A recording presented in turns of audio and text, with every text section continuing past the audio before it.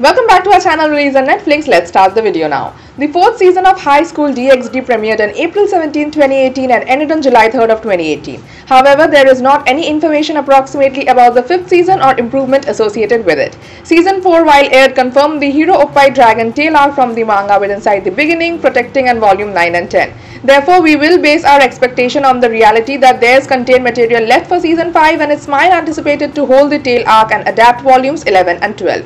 However, Passione Studio is to touch upon it. If the whole lot is going smoothly, we can expect the fifth installment to be out in 2021.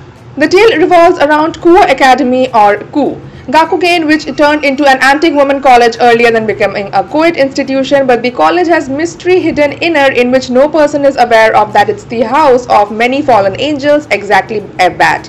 The primary man or woman of the display is Issei Hyodo. Also subscribe to our channel and press the bell icon for more Netflix movies, web series reviews, news and updates. Issei occurs to be a promiscuous man who desires of getting his very own harem someday and desires to date a number of the stunning women in his college.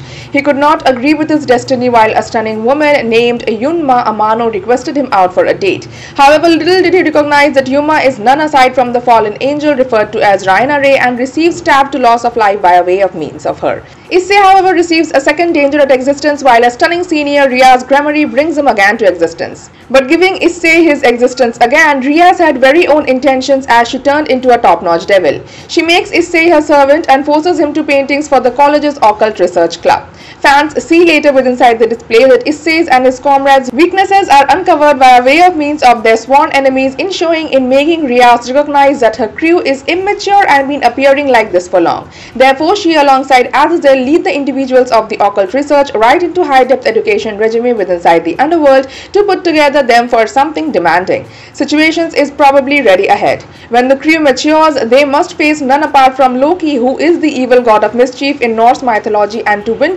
toward him goes to be the hardest factor to do. Thank you for watching the video till end. For more Netflix movies, web series, reviews, news and updates, please visit our website www.releaseonnetflix.com and if you like our video then hit the like button and share it with your friends. Also to stay updated, please subscribe to our channel Release on Netflix.